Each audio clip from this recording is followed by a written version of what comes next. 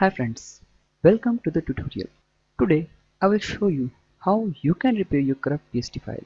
Virus infection, power surge while using Outlook, network failure, or maybe the PST file exceeding its maximum limit can cause your PST file to get corrupted.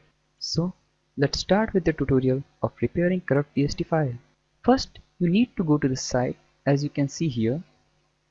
You can also get this link from the description section of the video.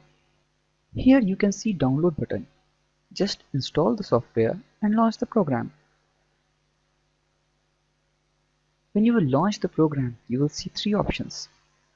For repairing corrupt PST file, you have to choose Open PST file. Upon choosing the option, a window will ask you to select the location of your corrupt PST file. You just need to browse the location of your corrupt PST file. Proceed to next step. Here in this window you can see two options one normal scan and the other smart scan.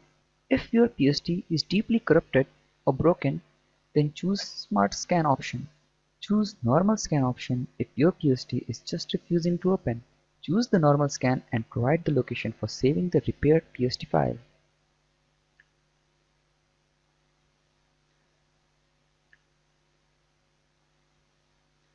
After providing the output location, proceed to next step. Here you can see the software performing its task. Recovery process is initiated that will recover the data from your corrupt PST file and will save the file to the output location that you have provided.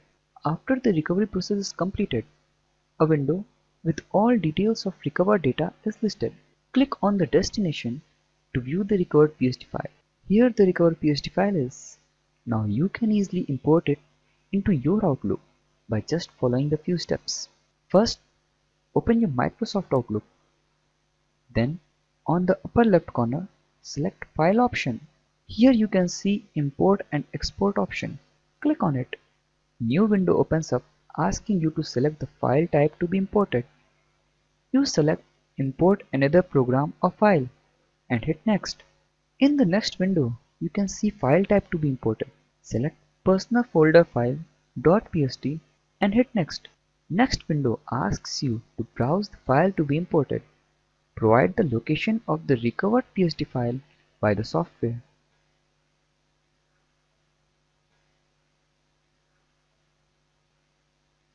Now select allow duplicate to be created and hit next.